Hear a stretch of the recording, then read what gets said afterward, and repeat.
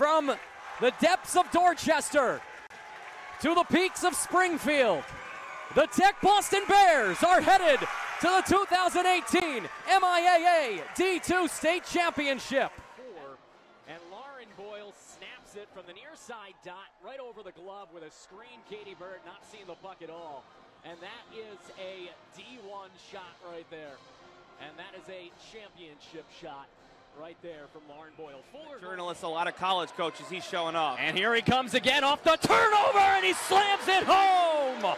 Maurice works, working it here in the first quarter. It's a six-point Tech lead. Maurice is this one knocked down. Dahlman sees Redler send it far side. Nice move. Here's a chance for Bross. He scores. Zach Bross from Nolan Redler, and the Beacons have extended the lead to four to one for the freshman. Line a backhander by Redler, but no one was home. Bross, nice stick check. Nolan Redler goes far side for Larkin. He scores. Colin Larkin, the captain, delivers again. Larkin for. Nick. D to D. Albano. Far side Redler. At the end line, Redler, nice lifting pass, lobbing it towards Larkin. Larkin, right side for Redler, he scores! Nolan Redler, punishment abound, but he punishes the Huskies where it counts. It's 3 1 UMass Boston. Well, I'll tell you what, there was a miscue at the On the blue line. shot clock. McElroy one on one with Burton. ISO drives down, fall away jumper. He hits it. What a shot from Jake McElroy. Yeah, good old NC2A, 3 2. That one's launched. Deep right field. Raising his hand and might and success as that one is out of here. You can write her a postcard because she is long gone. A solo bomb for Anthony Cesare. And the Beacons left fielder has tied it up at one here in the bottom of the fourth inning. Well, the only one. 2 2 pitch, and that one's launched into left field. Deep and on his horse is Rogers. That one is gone for a two run home run for Mitch Baker. You can write it a postcard because it is out of here. And just like that, the Dartmouth Corsairs have taken a 3 to 1 lead. 17 campaign. Good stop there by Canal. Certainly was off the shot from Evan Helt. Rebound chance for Larkin. He scores! After the first chance was unsuccessful. Try, Here are the Beavers. Pass in front comes to Ackerman at the point. He scores! Charlie Ackerman does it to UMass Boston again. And UMass Boston's lead is down to one. It is four to three. The Raiders, despite holding this game to one or two possessions for the majority of the second half, have not led in this one. Forte, Corte driving, puts it up with the right hand. It's true. And for the first time in this basketball game, Watertown has destiny on their side. They lead it 56 to 54 with five minutes to go. And there's Kozin trying to put his team on top. To the forehead, he scores.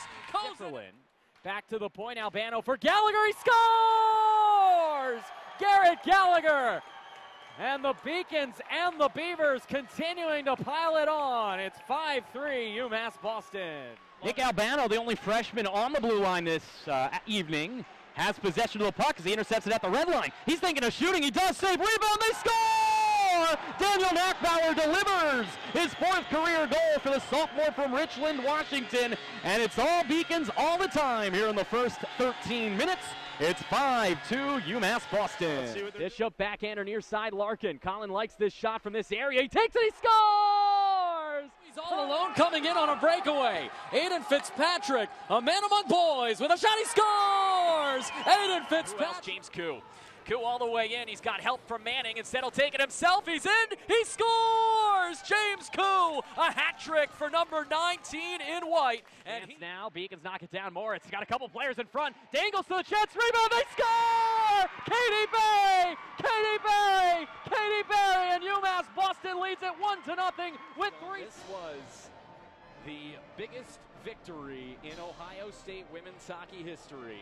And they are headed to the Frozen Four behind Cassidy Sauvé and Lauren Boyle, who scored the game winning goal back in the second period. With three seconds, two seconds, and the Boston University Terriers are heading to the Hockey East Championship game for the fifth consecutive season. He takes the three, can't hit it. Rebound is loose. Desir swats it up in the air, and with no time left, The Watertown Raiders have pillaged and plundered their way. Underdogs no more. They advance to the 2018 Division III MIAA State Championship, defeating the previously two-loss Burke Bulldogs by the final score of 66 to 61.